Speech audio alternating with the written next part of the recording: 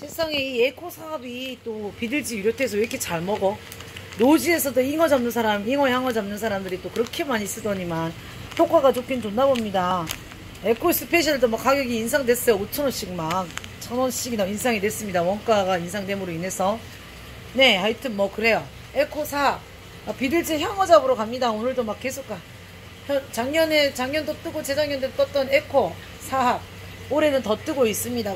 비들지에서도 뜨고 노지에서 잉어, 낚- 잉어 낚시하러 가는 분도 쓰고 그 다음에 일반인들이 또 집어용으로 쓸 때 굉장히 잘 먹고 좋더라고요. 에코 사합. 네, 대물라에 입고되어 있습니다.